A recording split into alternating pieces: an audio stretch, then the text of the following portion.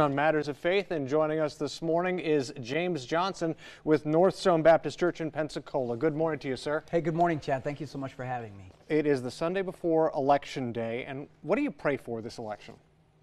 You know, I think we should pray for righteousness to mm-hmm. prevail.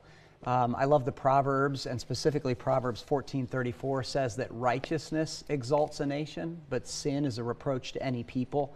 Um, and as I look at the presidential election, I don't necessarily think that one candidate is more righteous than the other. I think yeah. Jesus is the source of all righteousness. And so as we pray, we should pray for the conversion of these candidates, that they would be born again, and then that they would make decisions for our country that are rooted in biblical Christ like righteousness. I know often in Christianity our focus should be on the kingdom of heaven, but why do you think people of faith should vote? Well, I think uh, voting is a stewardship and it's a privilege.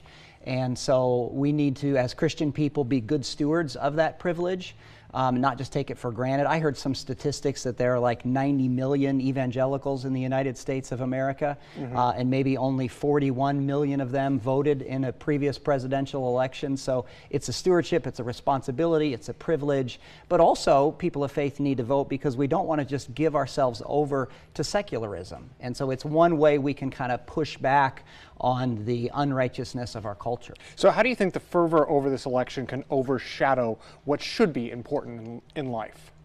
Oh, um, you know, uh, I think that whatever happens November 5th, yeah. uh, we just keep on doing what is important in our life, like we keep on loving God and loving our spouse, um, and then and then loving our children and serving our faith families, our church families.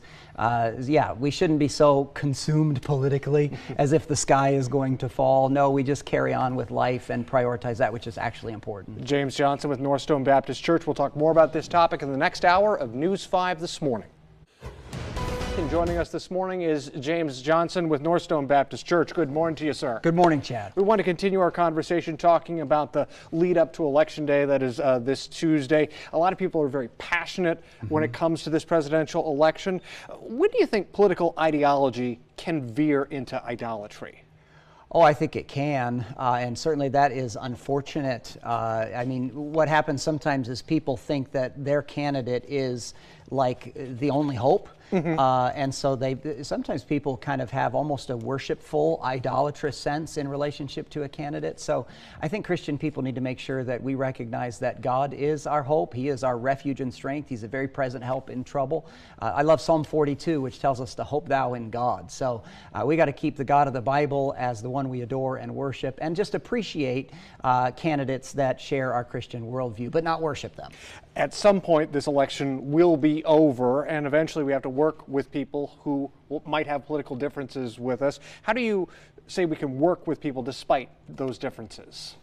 Well, I think that we need to realize the importance of unity. I mean, after all, we are the United States of America. We have become such a polarized nation, and that's unhealthy for a nation. If we want to be a strong nation, we've got to be a unified nation. So uh, we have got to be able to get over some of these petty differences uh, that are dividing us. You know, Chad, we often hear in the political world that diversity is our strength, mm. and I'm for diversity, of course, but I think that phrase is just political claptrap. Mm. Really, unity is our our strength. Any, any group of people that wants to be strong has got to be unified. So we've got to work well with one another. James Johnson with Northstone Baptist Church in Pensacola. We thank you for joining us for this edition of Faith Time on News 5 this morning.